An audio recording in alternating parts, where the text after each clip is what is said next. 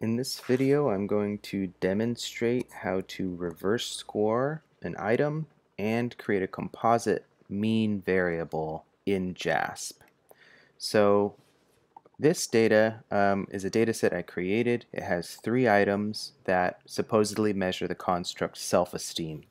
So what you need to know is that um, the first item and the third item are worded positively. So higher numbers mean more self-esteem, whereas item number two are coded or is a negatively worded item. So uh, higher numbers actually mean less self-esteem. So what we're going to eventually want to do is create a composite mean variable for all three of these.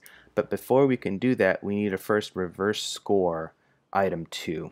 So I'm going to show you how to do that in JASP. So um, to do that, we're going to create a new column. So we're going to hit this uh, plus sign here.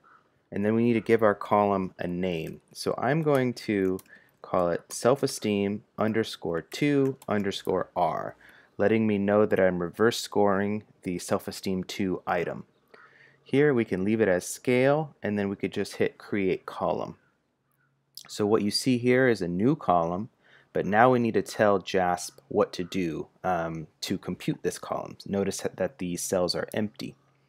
So I'm going to show you a kind of a shortcut um, to how to do this. There might be other ways to do it, but this is something I've learned that um, I haven't seen it fail, um, and I'll show you exactly why it works. So the other thing you need to keep in mind when you're going to reverse score is how many what's your scale? So these items were measured on 1 to 5 um, response scale.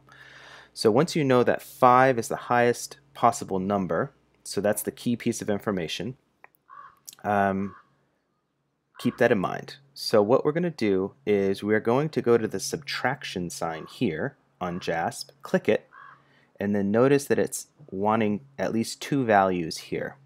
So in the first value, we're going to click there, and then we're going to put in a 6, because 6 is one more than the highest number on the scale uh, for the item that we're measuring. So remember, it was 1 to 5. Because 5 is the highest, we're going to go one more than that, which is 6. Then in the second slot here, click on it, we're going to bring over self-esteem 2. Click it, and then it comes over into this box. And that's all we do. So notice that this number is one more than the highest number on the response scale, minus, and then the item that we want to reverse score.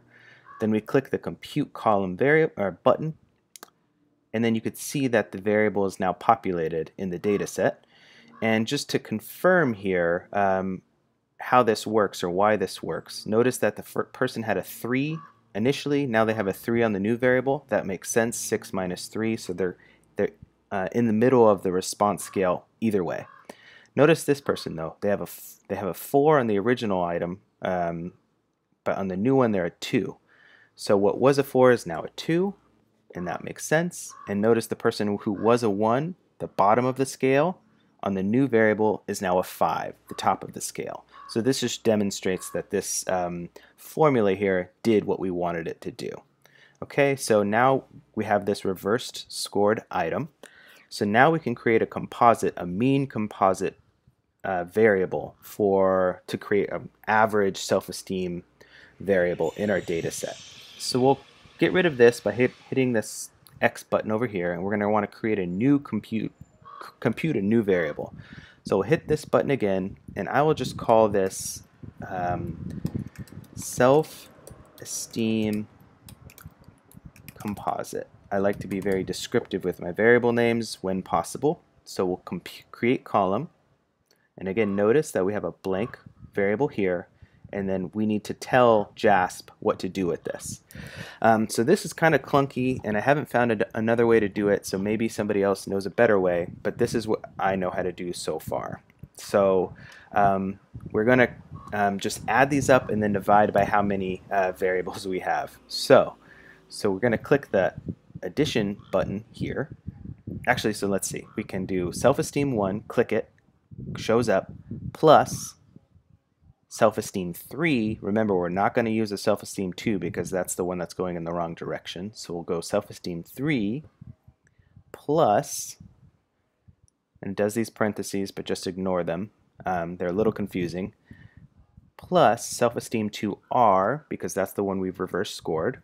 Okay, so now we have three variables. We want to take the mean of these, so we need we need to divide by 3. So we take this um, division sign right here, divide by, click the button, click the dots, 3.